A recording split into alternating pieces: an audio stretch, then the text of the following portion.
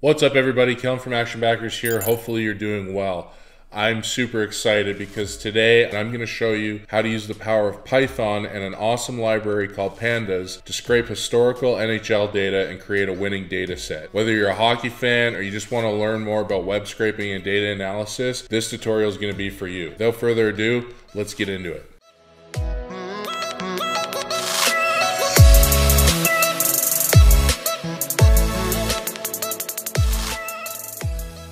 Hopefully, you're still with me because now it's time for the fun part. So, obviously, we're, we're getting set up and understanding the basics. We'll, we'll try and move a little more quickly now. But essentially, now we're going to use these dates to actually get the historical team data.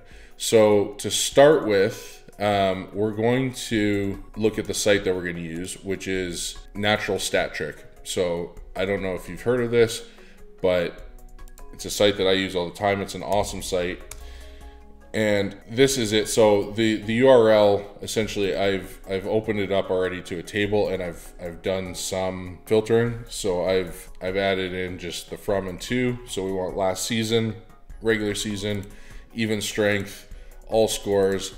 And then i use rates because it normalizes things to per 60 and that makes it easier to work with um, when you're doing your modeling.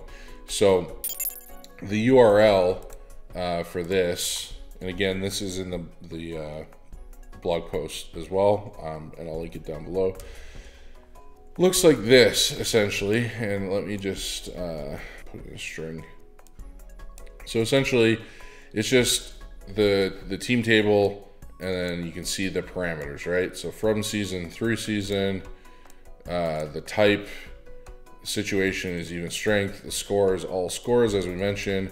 We're using rates, so rate equals Y team, all teams, and then a few of these are, are built in, which we don't need to worry about. And then the, the last the last ones, and these are where we're going to focus, is this FD and TD. And so what this means is FD equals and TD equals. This is from date and to date. Because right now, if we look at the games played, this is 82. So this is the stats for an entire season.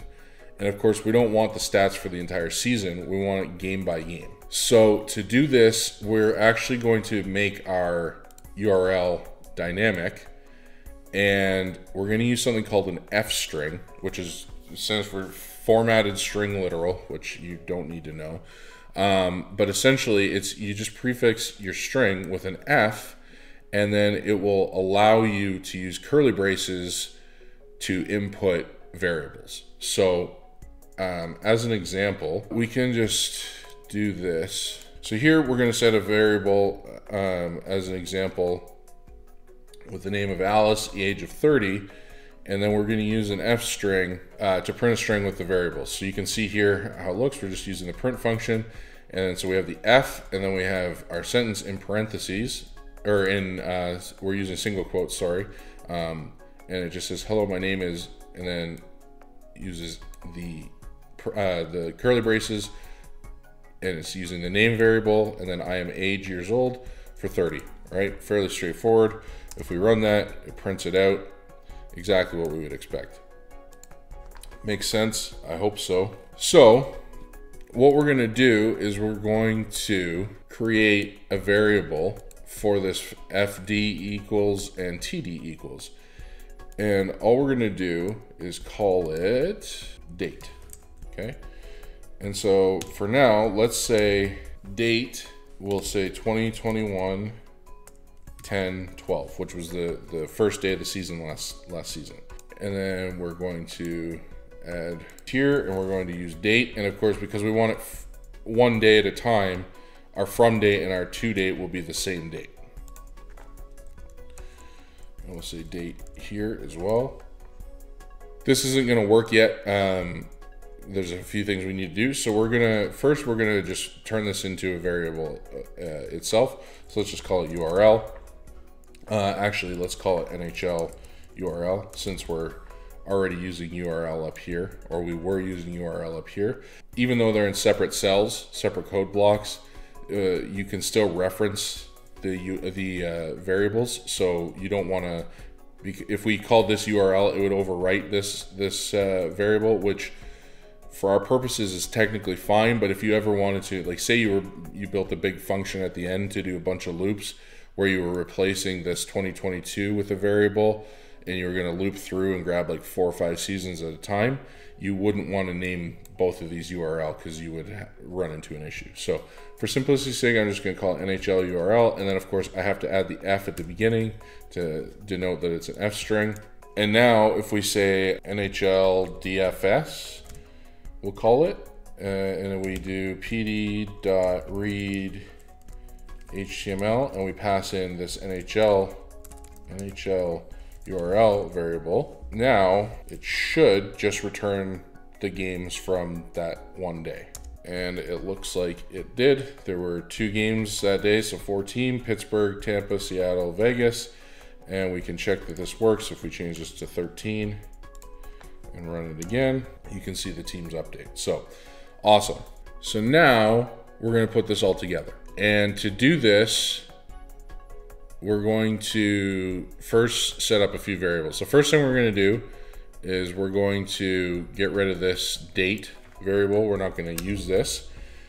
Um, and we're going to we're going to clean these up for, for now. So um, we're actually going to start by using NHL URL and we're going to start it as an empty string.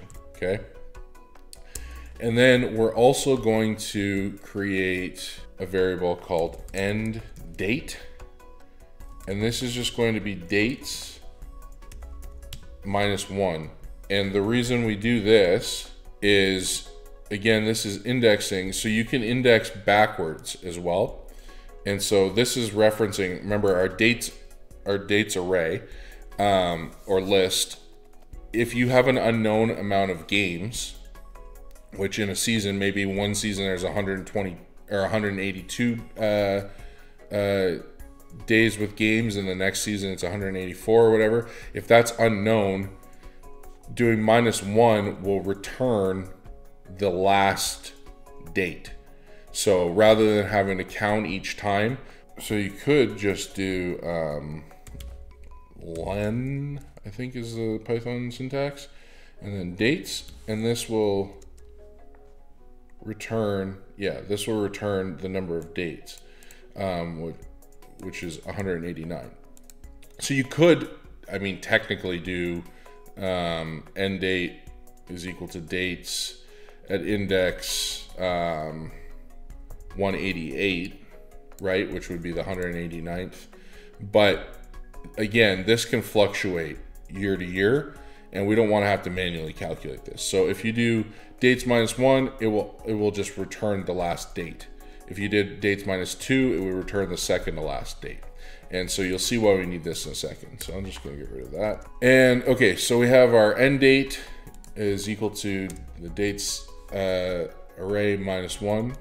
All right, and I, I apologize if I if I keep saying array instead of instead of list. I'm predominantly a JavaScript uh, programmer, and in JavaScript we use array. Um, anyways, so and then the next thing I'm going to do is I'm going to create um, a variable called output. Oops, output path, and this is just going to be um, the path that you want to save as your CSV. So um, you can just call it, you know, NHL data.csv. I already have um, a file called this, so maybe I'll just call it uh, YouTube demo. Um, the important thing here, though, you can call it whatever you'd like, and it will save this in whatever um, whatever current directory you're already in. And so now that we have our output path, and I'm just going to copy this or cut this. Um, we'll use this in a second. So we have our, our URL is instantiated to a, a blank array. We have our end date, which is just our dates list minus one, and then we have our output path. So now what we're gonna do is we're gonna actually loop through the dates and we're going to, for each date, we're going to create that new URL using the date. So to do that, we're gonna use what's called a for loop. So we're just gonna say for date in dates. Again, dates is referencing this list up here that we grabbed earlier. This date can technically be called whatever you'd like. If you want to call it X or fun times or whatever, no problem. But it makes sense because it's one date in a, in a list of dates. So we're going to use this and then colon. And the thing with Python that you need to know, indentation matters. So oftentimes if you run into errors, especially if you're writing like a loop, make sure that you're checking your indentation. It's very annoying, but um, as long as you follow along with how I have it, you should be good. So the first thing we're gonna do is, as I mentioned, we're going to populate NHL URL with our dynamic date. So to do that, we're just gonna paste what we had before, right? So now we have our NHL URL is equal to that long string, and now it's gonna use this date and add it in here and here.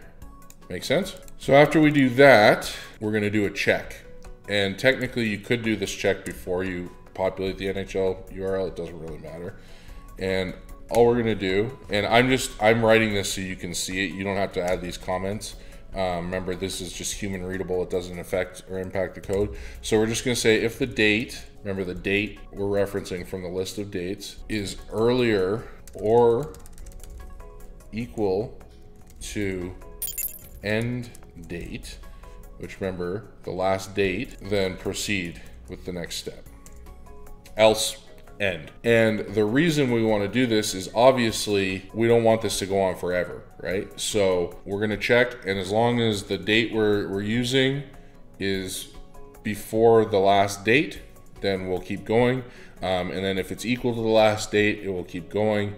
But if it's greater than the last date, the loop will end, the program will, will finish. And so to write that, we're just gonna say exactly what we wrote in our comment. So we're gonna say if date is less than or equal to end date, then we want NHL DFS is equal to PD read HTML, and this is exactly what we did earlier, right? And we'll we're gonna pass in whatever the the NHL URL is in in this iteration through the loop. We're also going to say index call equals, and then we can say NHL df equals NHL DFS zero. So this should all feel very familiar. We've, we've, we did this in our, our first part when we're getting the dates, and then we've already looked at examples here as well. So this is not nothing new. Now, after we do that, we are going to add a date column based on the current game date because um, the stats that we're, we're looping through, we're not actually, they don't actually have the date on them because the date is part of the query parameter. So to be able to, if we reference um, our, our outcomes here, we're just gonna append this, um, this column. And so we can see that we'll have the date. And this, this can just be useful, especially if you're working with multiple seasons of data, you wanna know the, the date. So all, all we're, we're doing in, in this part of code is we're literally just tacking this column um, onto the end and making sure that it, it displays the date. And again, this is just common writing. So yeah, so we're gonna base on the current game date. And to do that, all we have to do is NHLDF date. And so remember uh, um, above when we were formatting the date in our first list, the date already existed, so it just formatted it. Here it doesn't exist, so it will create that column. And all we're gonna do is the date is going to be equal to the date, whatever the current date in the list, this iteration of the list is. Hopefully that makes sense. And then the last thing we need to do, um, because obviously when this loops through, we need it to update the URL, get that you that data from the, the URL into the data frame. And before it does the next one, we now need to put that data somewhere, right? Because if if we don't put the data somewhere, then it's just gonna you'll you'll end up with ultimately when the program finishes, you'll have only the last day worth of games. So to do this, we're going to uh, use a handy function and we're going to say NHL underscore df dot to CSV So very self-explanatory. We're going to pass in parameters. So the first one is going to be our output, output path, which again is a variable we set up here. And then it takes a few more arguments. And these arguments are very important. So the first one, we're going to say mode equals A. And don't forget that this needs to be a string. So you have to have your either your single or your double quotes around it. And what this does is this puts it into append mode. So by default, it will be in just write mode. And what that would mean is, again, the first time through on, on so uh, October 12th, it would copy all the games from October 12th into the CSV. But then when it looped around and grabbed all the games for October 13th, it would just overwrite all the October 12 games. So we'd be in the same predicament as before where it would just it would only return the last day's worth of games when the program is ending. So by adding this A, it means if there are things there, don't overwrite it, add it to the next empty row. And then we're going to say header equals not OS. And OS, remember, way at the very beginning, we imported OS. And this is just a way to check if the CSV exists. So that's the other thing. Don't create the CSV first. Um, just do it exactly how, it, uh, how I've explained it here. Okay, so not OS dot path dot exists. And then we're, again, we're going to, in parentheses, pass the uh, output path. And then lastly, again, as some formatting, we're going to say index equals false. But let's talk through this um, this header thing first. So basically, what this is saying is if this file doesn't yet exist, then add the headers, and the headers are these, right? The actual headers. But if this file exists on every, um, then don't add the headers. And the reason you want that is because obviously at the very beginning you want the headers, but you don't want it to add in headers after every day right? So you'd have like all of these headers, and then you'd have the the first two games from the 12th, and then you have all the headers again, and then the games from the 13th, so on and so forth. Just makes things very cumbersome and ugly. So this is just a way to dynamically make sure that you get the headers at the top, but then it's going to skip the headers every time thereafter. And this index equals false. This is totally optional.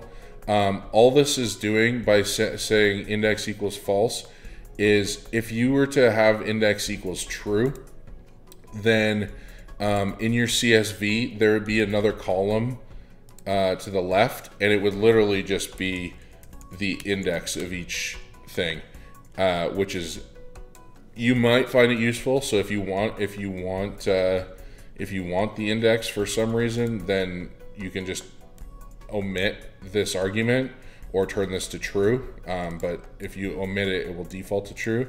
But I can't see any useful reason as to why you would want this index. So it just creates um, a cleaner data set, essentially. So I recommend leaving it to false. And so now we should be good to go, basically. So we're, we're um, let's just recap. So we're going in, and for each date in the dates list, we're going to dynamically populate this URL, and then we're going to look at that if if the assuming that the date is not late, greater than the the end of the list, we're going to read that HTML table, and then we're going to add in a date column, and then we're going to write that data frame to our CSV. Okay.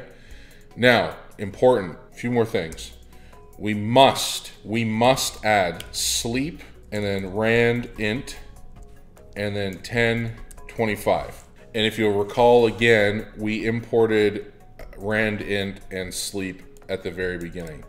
And what this does is this is going to pause our program on each loop, which is what the sleep does. We're using the rand int to randomize the time that it pauses for. And 10 and 25 means that it will pause for anywhere randomly between 10 and 25 seconds. And that seems like a lot, But the reason for this, and this is incredibly important, please listen to this. If you don't do this, you run the risk of being blacklisted your IP and then you won't be able to use this at all. This will simulate human action because if you were to run this without the sleep function, the it's thousands of games and the server load on the, the website that we're, we're getting this data from would become overwhelmed and it would potentially crash the site or it would create a terrible experience for other users because they wouldn't be able to get onto the site and even if you're a selfish person the issue is site owners they put in protections. And so what will happen is you would just get rate limited. And if you get rate limited at best your scraper will, fail and you'll have to wait and you won't be able to get the data anyways. And at worst your ip will get blacklisted and you'll never be able to access it unless you change your ip or beg the owner of the site to let you on. So it's really crucial that you include this sleep. And it, you can play around with this um, these these numbers. You can make them a little lower potentially.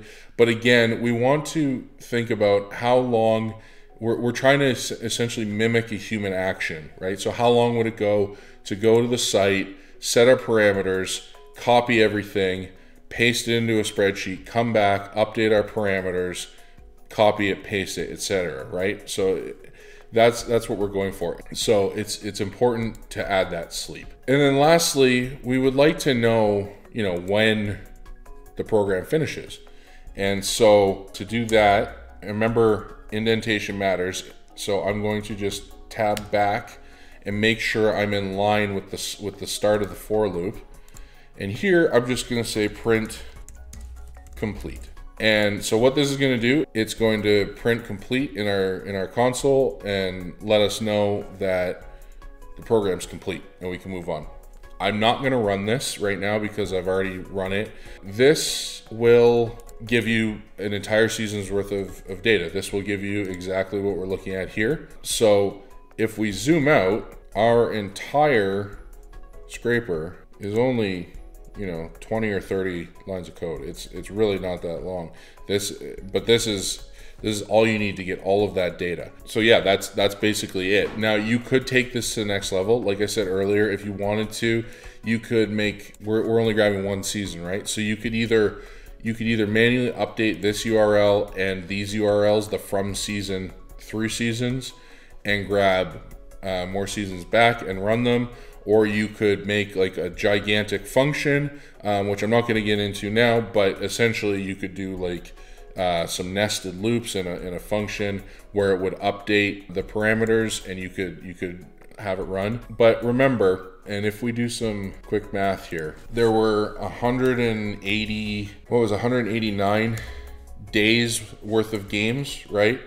Um, times an average of what is that 17 and a half seconds right average of 10 and 25 17 and a half and what's that give us that gives us 3,300 seconds. So if we do x divided by 60, that's roughly 55 minutes, right? So yeah, this does take a while. This is each season is going to take just shy of an hour, 55 minutes. But once you you write this and once you get this data, you never have to do it again. So literally you could you could, you know, and once it's going, you can go off and do other things. So you could set this go and once an hour come back and update the seasons and by the end of the day you could have eight or ten seasons worth of data but it is worth noting that uh, don't panic if this like because you'll see the asterisk spinning um, don't panic if you haven't seen complete just think about it right because we have to it it's pausing for for an average of 17 and a half seconds 189 times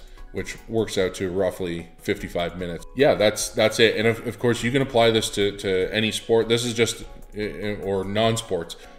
Hopefully this made sense and hopefully you like this video. And again, if you want a text-based version with a little bit more detail, um, especially around some like definitions and things like that, check the link below. Uh, it's a blog post at Action Backers. And as always, sign up for Action Backers and use code welcome20 and you get $20 off your first month the the new app is is awesome if I say so myself. Um, we got a ton of models on there and bet tracker and a whole bunch of other stuff. Check the other videos to see to see the update. And again, there's a 14 day free trial, so give it a spin. If you don't like it, cancel before your 14 days. No worries, you won't be charged. I'll see you in the next one.